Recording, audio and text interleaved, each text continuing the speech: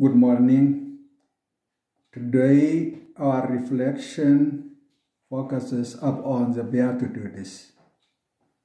Jesus teaches us and gives us Beatitudes to live in order to be blessed and happy.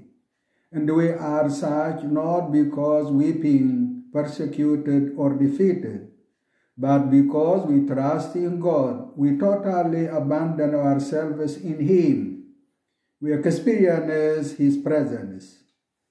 We also accept our journey with its physical and moral weaknesses and the sufferings, knowing that they are all relative under the loving and the benevolent gaze of God who will, allowing them, lead us towards a future of joy and peace.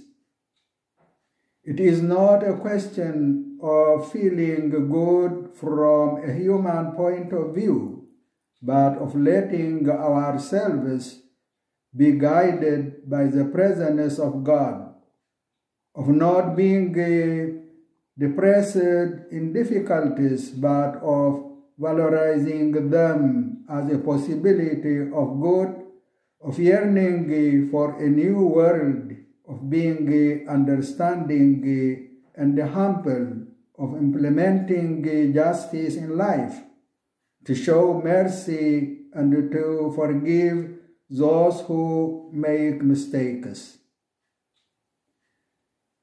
By promoting material and spiritual good, we as a Christian participate in the mission of Jesus, a living eh, and a sublime model of all bliss. The Beatitudes trace the way for us to true happiness and are summed up in trusting in God and in loving others with the passionate and total love of Jesus.